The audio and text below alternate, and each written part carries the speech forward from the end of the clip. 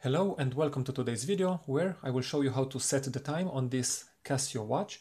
And you have the Casio model over here 2747 and uh, because the battery life on these watches is around 10 years chances are that by the time you have to replace the battery and uh, set the time again you don't have your user manual, you lost it or misplaced it or something happened to it.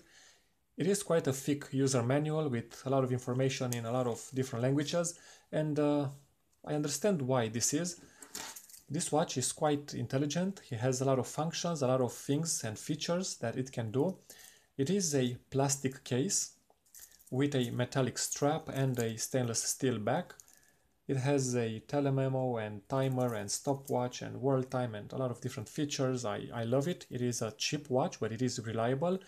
The only problem is that after about five years or six years, or I don't know how long it, it was since I've uh, bought the watch, the time is not displayed correct on the analog uh, part over here. The hands have to be uh, set or adjusted and I will tell you how to do it. So let's forget the user manual. I've read it for you and I will show you how to do it. You have these buttons, two on each side and let me just call them button A, B, C and D.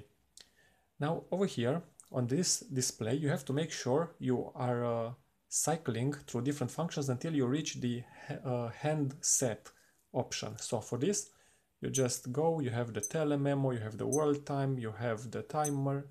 Over here, you have the stopwatch and you have hand set. You've seen it, H slash S. Now you have to press this button on top, on the left side, and you keep it pressed until you see the time flashing. Now you can use these buttons over here to set, let me show you, if you press it, you can set the uh, minute hand.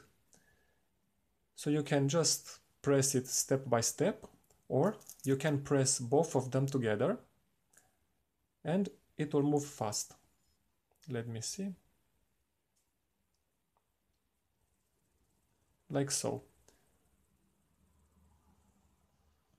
Now in my case I have to go until uh, actually the time should be 15 uh, 17 minutes past 3 so I have to go quite a long time.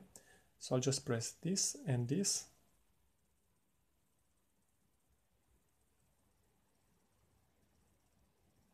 It goes only one way so you have to be patient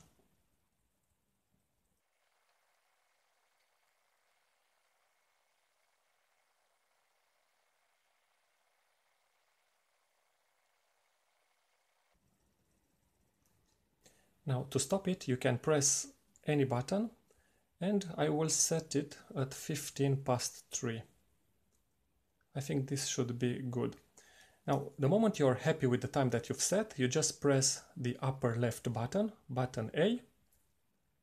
As you can see the time here has stopped flashing and then you can just press the C button over here and here you go. Now the hands are set.